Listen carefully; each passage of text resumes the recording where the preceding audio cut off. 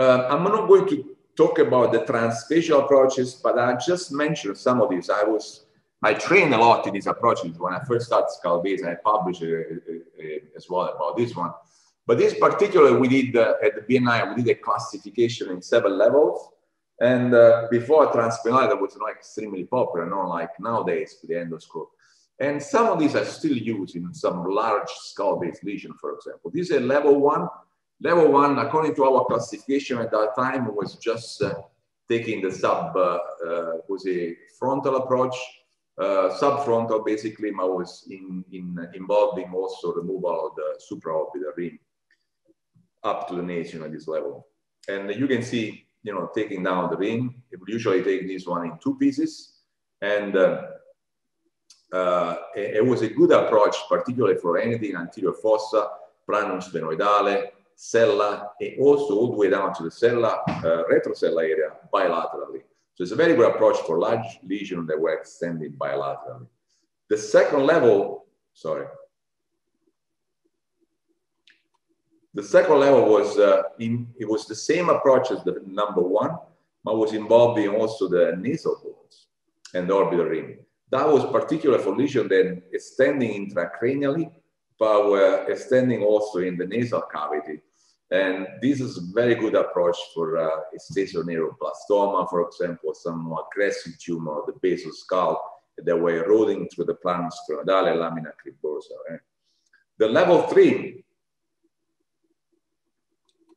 So level three is uh, the same as level two, but was involving it's still involving actually, it's the uh, lateral wall of the orbit. Basically, by doing that, it's possible to displace the ocular bulb laterally. And that will uh, obviously will expand the, uh, the dissection and the exposure for lesion into the uh, extracranial, into nasal cavity particularly, though those one extend bilaterally. That was a good approach for, uh, for again, this esthesioneuroblastoma or the major skull-base lesion.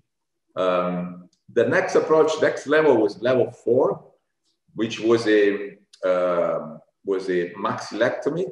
This was a very good approach uh, when lesion was originated from the common sinus again to the nasopharynx. Right, it's a very good approach. It's still used nowadays, uh, particularly lesion extending laterally.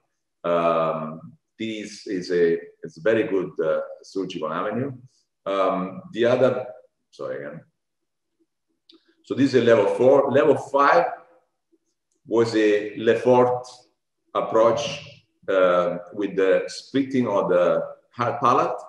And this very, was a very nice, still a very nice opening for major tumor of the nasopharynx all the way up to the base of the skull. So it's very particularly, this is a good approach for midline lesion, extend a little bit more lateral. For a more lateral exposure, I would have preferred still the level four because it's a maxillectomy, give you more exposure laterally. The level six was a purely transoral approach, which is still popular, but a lot of these approaches have been replaced now for transsphenoidal.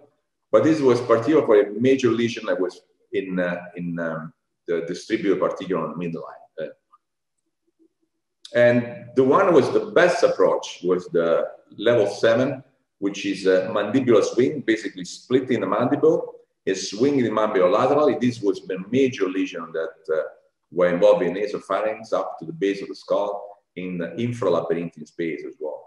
So swinging the mandible, and some of these were even um, coupled with the glossotomy. So it was was very invasive approach, but sometimes it's difficult. It's no other. You have no other option when the lesion is particularly big. This particularly for skull-base uh, right? Hey everyone, Ryan Rad here from neurosurgerytraining.org. If you like that video, subscribe and donate to keep our content available for medical students across the world.